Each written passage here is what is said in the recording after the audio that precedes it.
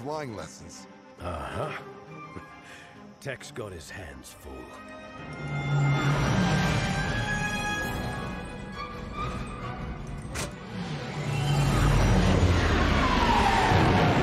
Up, up, up, Omega, hold up. Copy that.